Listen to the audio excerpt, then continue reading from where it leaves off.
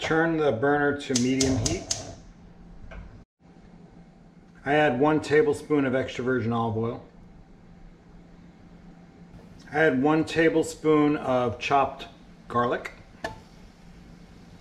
Add half of a chopped purple onion.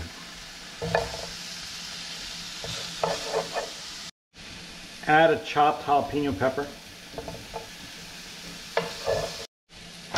Add four scallops.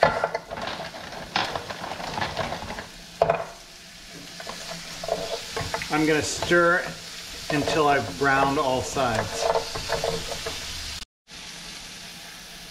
Squeeze fresh lemon onto the scallops. Add one tablespoon of curry powder.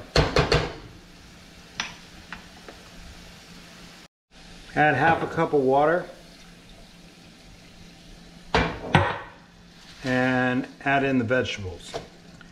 I'm using purple kale and purple carrots.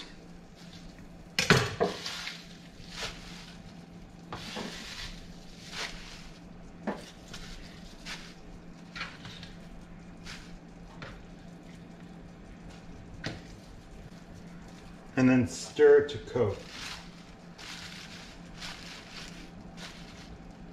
Cover and simmer on medium heat for 10 minutes.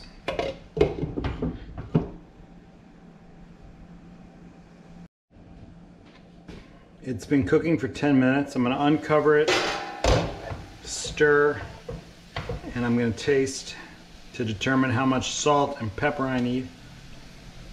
I'll add salt and pepper to taste.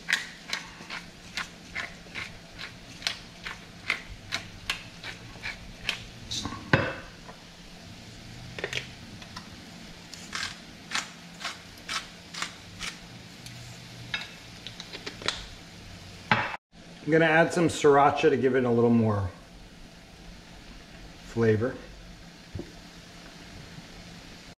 All right, that sriracha really did the trick. It tastes delicious. Now going to serve.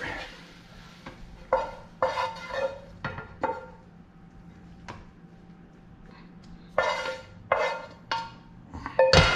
gonna garnish it with fresh cilantro.